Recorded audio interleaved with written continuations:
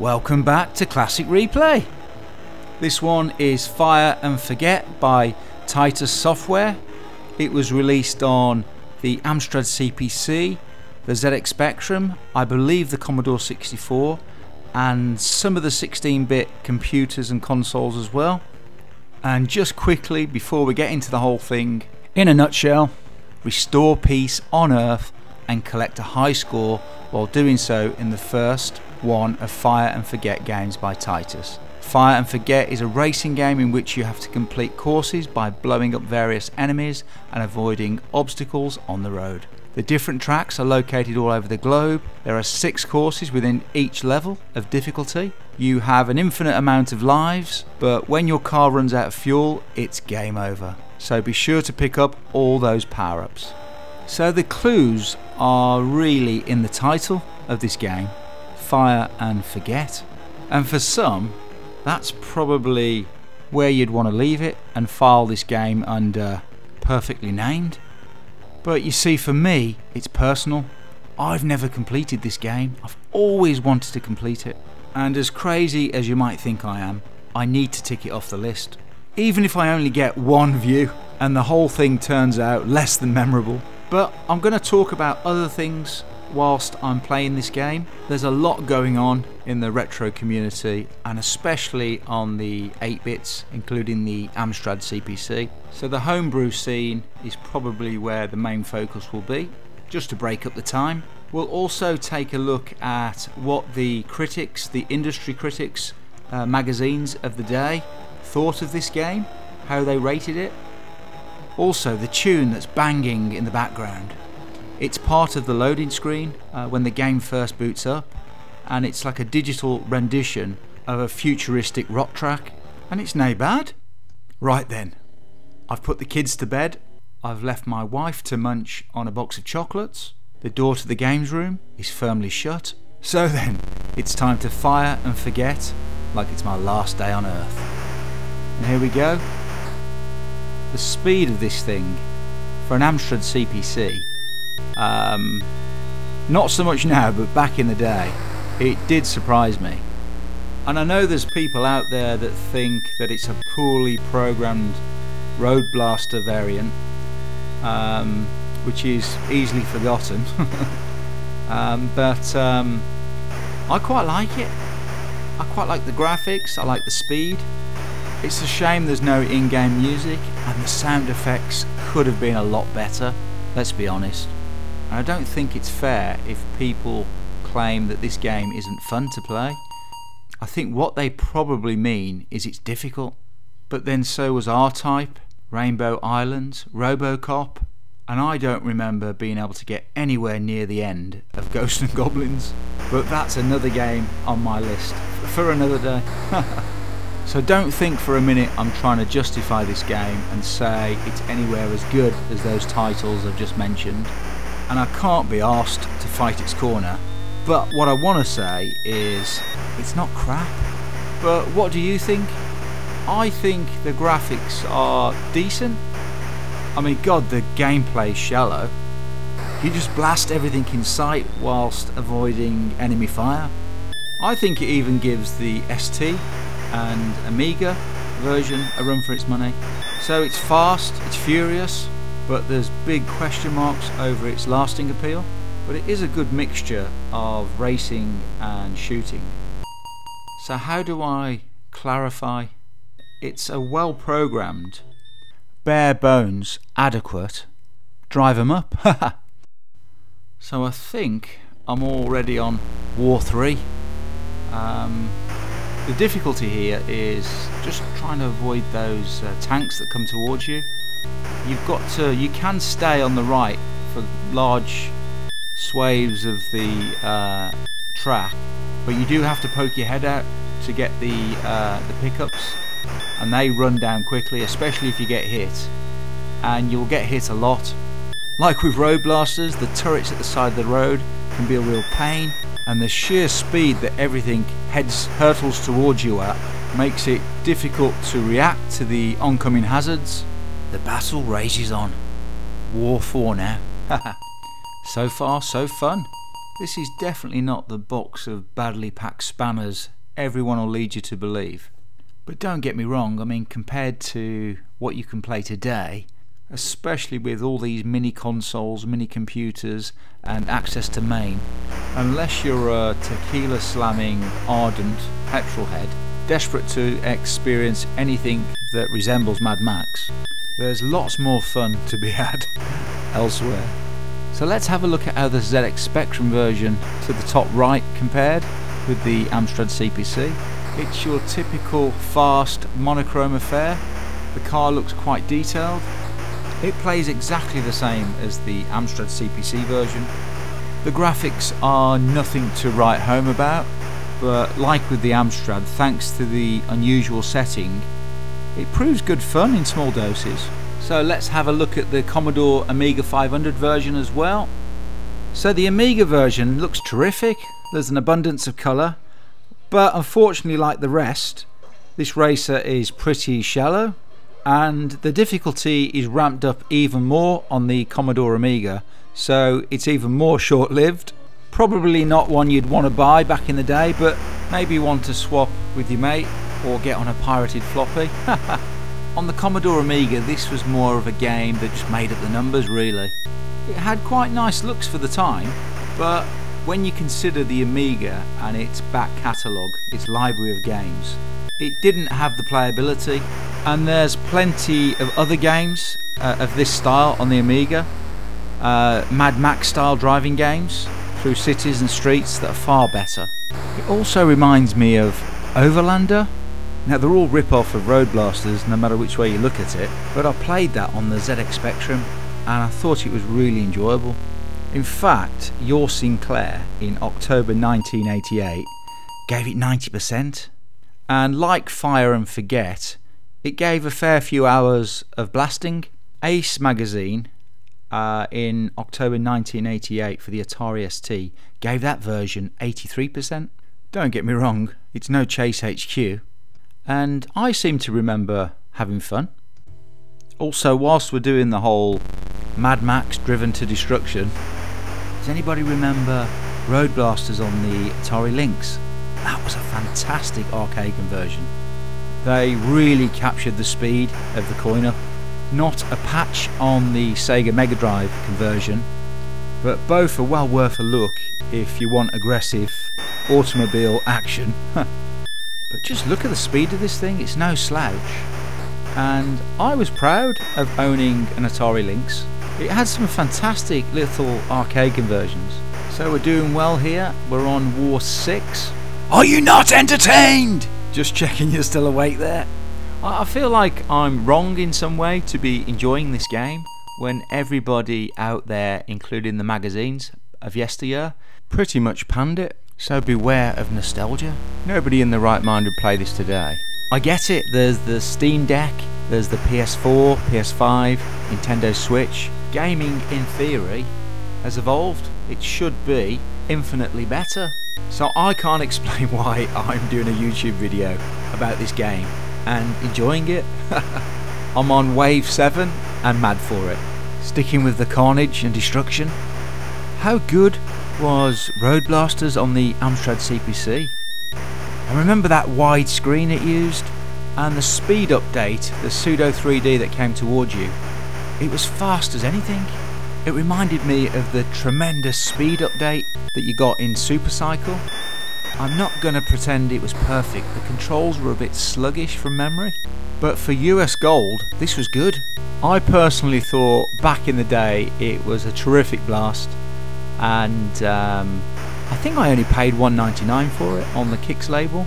It's not too hard and you get a good go at it. The only thing I hated about the arcade uh, version was that when you lost, it was expected that you gave way for somebody waiting behind you, and they'd always put their coin on the side uh, in front of you so that you knew that they were waiting. With the Amstrad CPC version, I just play it for hours and that's probably why I enjoyed it because there was no looking over my shoulder and I could just get on with it. But if you dislike this sort of 3D race come shoot 'em up, you're never going to like Fire and Forget or Road Blasters. I guess you could say about Fire and Forget and Road Blasters and any of its type. Um, they're not terrible games, but they're not great either. And I mean that about home computer versions. The arcade version of Road Blasters I was playing just only the other day. For me, that's a timeless classic, no question. So before moving on to other things, uh, whilst I'm playing this, I looked on magazines from the past, Wiki, and for the Amstrad CPC, they gave it an average score of 60%. So I tracked down the Amstrad Action issue, issue 39, that did the review, and ended up reading it cover to cover for about two hours. I mean, what a fantastic magazine. I used to love this magazine back in the day. I had a subscription to it in the first couple of years, and I think it went on until 1994, 1995, something crazy. They actually gave Fire and Forget 60%, and in the second opinion section, they even cited that they felt it was better than Road Blasters. So, in keeping with the retro vibe, what is it I've been playing of late? Well, Horizon Chase 2. Yes, it's a modern game, but it's built on a retro engine. And as with the first game, the music and the speed of this thing is equally terrific. The only downside is it's only available on iOS Arcade, which means you can play it on your mobile phone, iPad, and I believe Mac. The other versions, including Nintendo Switch and PS5 and PC, will be with us in 2023. Another game I've been waiting for patiently with bated breath is Formula One Retro Racing. It only has a small team behind it that have developed it. Uh, the rumour is that the PC version will run at 120 frames per second. And there's meat to this game, believe it or not. Um, but I'm hoping it's as tough as it is rewarding. It's out December. Now back to the Amstrad, uh, downsizing things a little bit. We've got a new release uh, called Car Racer. It appears to be an old Tiger Electronics uh, LCD game, reprogrammed for the Amstrad CPC. There's a link to download this game on indieretronews.com. Now, I'm not going to cover every new or potential upcoming Amstrad CPC game on, on here, but just the ones that have caught my eye. And would you look at this? Mighty Street Fighter on the Amstrad CPC. Now, Amstrad owners never got a Street Fighter 2 game. We were promised it by US Gold and Amstrad Action, but it never materialised until now. There's no official release date, but once again, head over to indieretronews.com where you'll be first to see any updates. Now, this one I'm really looking forward to Toki on the Amstrad. It was supposed to originally have been released for the GX4000 but for whatever reason it never happened. But now, finally, we're getting it on the Amstrad, and I'm really excited. I'm excited because it looks like it's got full scroll, and the colour palette looks to have been used to Amstrad perfection. So War 10 already, and I'm feeling the pressure, trying not to make any basic errors.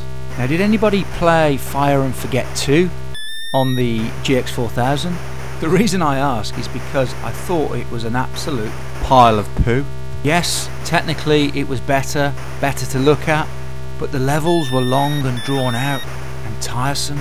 Amstrad Action sold out with the review on this game as well, awarding it a console stunner, whilst computer and video games and Mean Machines massively slated it. It was an early scare of what was to come for the GX4000. Titus just didn't put the effort in especially when you consider how powerful the GX4000 was. Even at its best, as you can see there on the Amiga 500, they just didn't put the same amount of effort into the playability as they did for Sega's 8-bit console. In fact, Amiga Joker, a magazine of the day, in 1990 gave it 38%, and Powerplay in Jan 1991 gave the Amiga version just 20%. It was anything but a memorable experience on 16 bit, but it looked absolutely terrific. So it's not all bad news for Fire and Forget 2. There was light at the end of the Master System tunnel, but let me quote this from Mean Machines, November 1990. They gave it 82%, and they said I prefer this to Battle Outrun and Chase HQ. They went on to say, in those games, you just had to bump the enemies off the road. Here you can let rip with machine guns and blow up everything that gets in your way.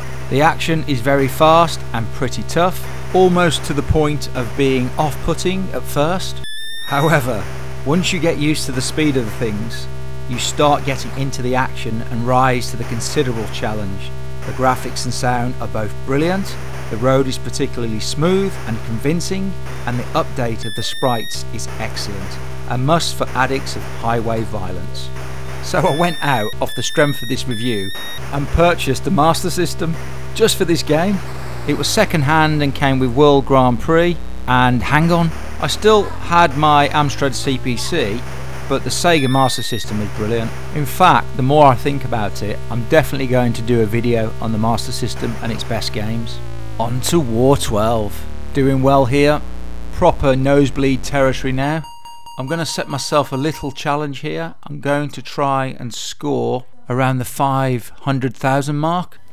Now what I want to just talk about is a game called Travel Through Time, Volume 1, Northern Lights. Now, it's a 128K ZX Spectrum driving game.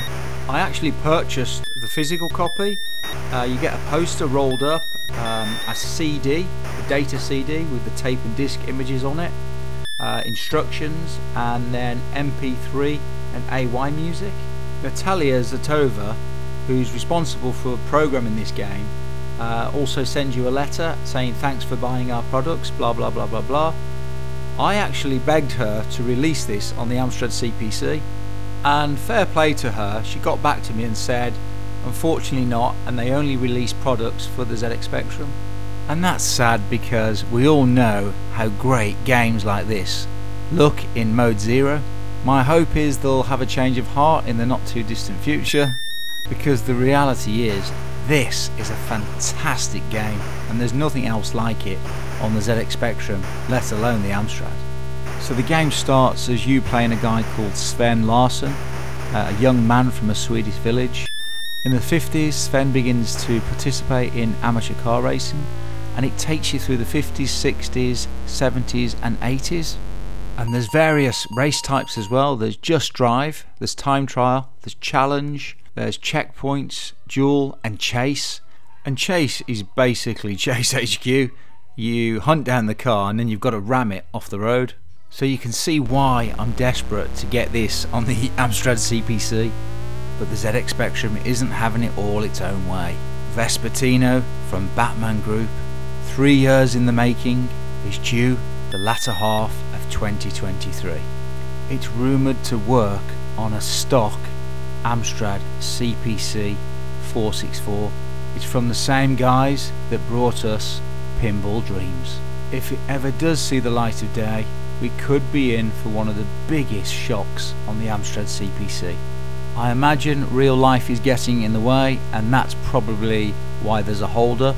It could be that the game is near completion but now they've got to bug test the life out of it. The Batman group have made some big claims about this game and some massive big bold statements about the Amstrad CPC being the best 8-bit. In fact they suggested that no game whatsoever so far has even utilised or pushed the CPC anywhere near its true potential. Call me gullible, call me old fashioned, but their words have got me all excited. I mean, look at that, a masterpiece that eclipses them all. They've certainly succeeded at drumming up the excitement, but Jesus, Mary, and Joseph, and the wee donkey, would you take a look at that? So, we've got two choices it's coming, or it's coming. Now to some, maybe most, that will just read like hyperbole, but when you see what's coming next, wow, oh my gosh, did you see that? And this is an old video from 2019. I can only dream, I can only imagine how far, how advanced this game is now, but more importantly, how amazing it must play. Right, we're getting on a bit here. War 14 now. The difficulty is ramping up to the point where if you miss a fuel cell, um, it's pretty much game over. Even one hit now pretty much ends the game. So got to be really careful, tread really carefully here. Try not to stick my neck out too much. There's a couple of games as well that I just wanted to mention. Uh, Corsair, which is a vertical scroll shoot 'em up that runs at 50 frames per second.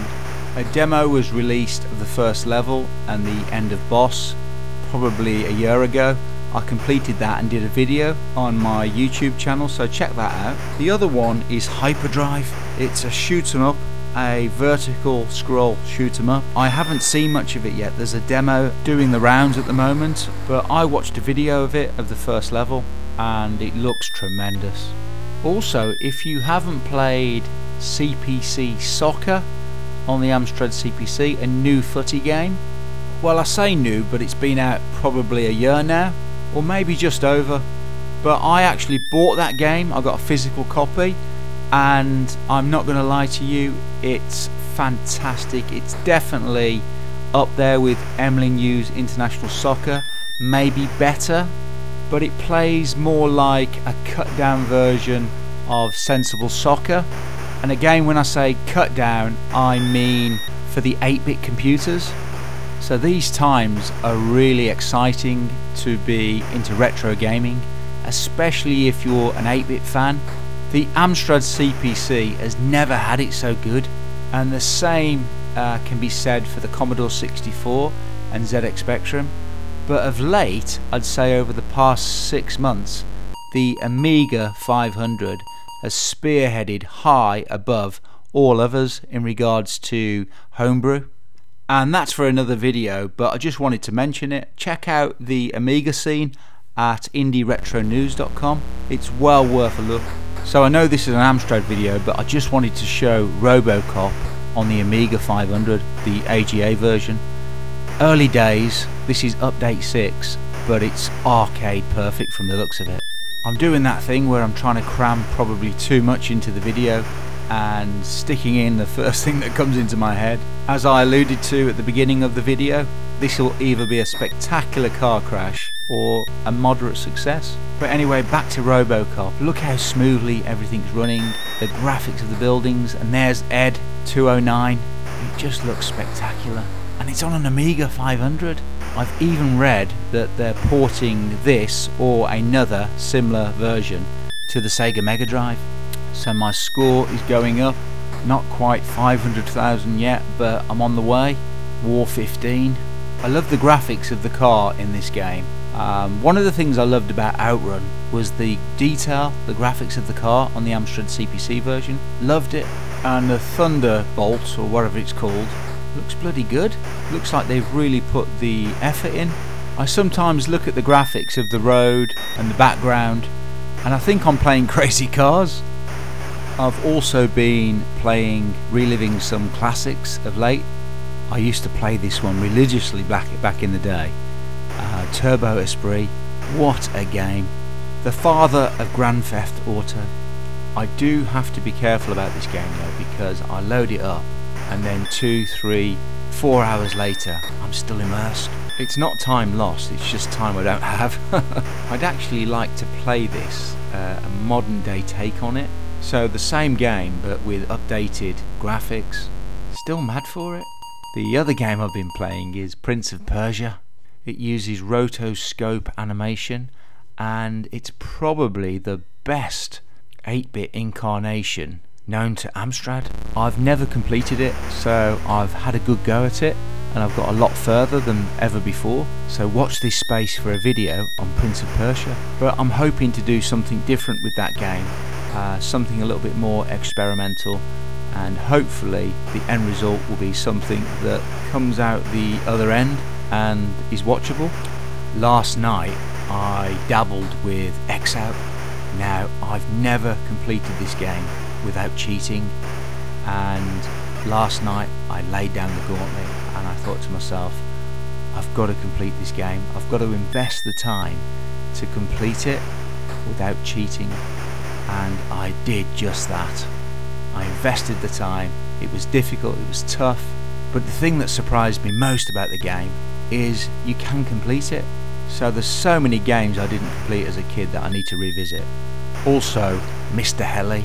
I never completed this as a kid either. Um, it's one that I paid, I think, £10 for, but I wasn't disappointed with this arcade conversion. For the time, it was a corker. And if you're new to the Amstrad CPC scene and you're thinking, where are all the shoot 'em ups? This one and X Out should be first on your list. So another quick, short, sharp and punchy preview of what I've got planned for Amstrad fans. So quickly going back to Fire and Forget, if you think about it, I'm already on War 16 and I believe there's another level after this. Fire and Forget 2, there was only 5 stages. So this is a much bigger game and more bang for your buck. I do want to stress though, I'm making this look easy and it's anything but. It's taken a lot of practice. According to the manual, I'm almost at the end. There's only two levels left, so proper nosebleed territory, and it looks like it's snowing. just try and be brave, but at the same time cautious. I'm not a fan of the sound effects when you pick up the uh, fuel molecules. The helicopters, the tanks, everything's detailed, but it's blink and you'll miss it action. Bit nervous now holding it together. Let me know what you think of this game and let me know what other games you like that are very similar or your favourite racers. Now naturally Chase HQ is probably going to be top of everyone's list but there might be something else that you would like me to cover. This level seems to be dragging out a bit now. Um, should almost be at the end. I've nearly completed my target of 500,000 trying not to get dragged into a fight here or lose concentration. Important to be disciplined. Completely off topic, but I've been watching Rings of Power, the new Lords of the Rings episode on Prime, Amazon Prime, and it got me thinking about the Amstrad CPC version. We had The Hobbit and Lord of the Rings. I remember loving the books and then buying the game, but being massively disappointed that it was an adventure game but I've gone back in recently and it's really good. The parser's really good and it stays quite close to the books. So a little bit more of a reveal of what I've been up to, which is nothing much. There we go, the end of war. So I think that could be the final level. Oh no, actually there's one more. I think this is the last. So here we go. Yep, there you go, confirmation there. This is the last level. Fingers crossed. Come on then. Play it safe. Don't lose it now. Oh, bugger. See this one hit and it's almost over. I got lucky there. Come on. There's plenty of uh, power-ups. So to get that energy level flowing back to somewhere near normal just stick just stick to the right as much as possible. I've come too far. I've come too far to blow this now. There'd better be a fantastic firework display at the end of this. I'm looking for a massive send-off. but yeah, this is... I've never got this far. This is as far as I've ever got in this game. And like I say, it's taken lots of practice. And I'm a little bit cheating here by sticking, hugging to the right hand side but you can still die. Strange, there's less enemies. The final level, and you'd think there'd be more enemies. I don't feel like anybody's firing at me. Come on, come through, come through. Save the world, save the day. But I think you can literally just hug that right hand corner, uh, poke your head out every now and again, and bish bash bosh, job's a good. Almost there, almost there hoping, praying that I'm going to meet, reach that 500,000 mark. It's not looking good. I've not shot anything in a while, but things are firing. Look, you can just see out the corner of your eye. Woohoo! I'm expecting the car to spin, WEC Le Mans style, and the music to start blasting. The victory parade. A nice uh, Titus end game screen. Come on. I don't know what's going on here. That looks a bit weird. Three white doves. Hmm. It's taken us back to the beginning. Oh my god. Not good.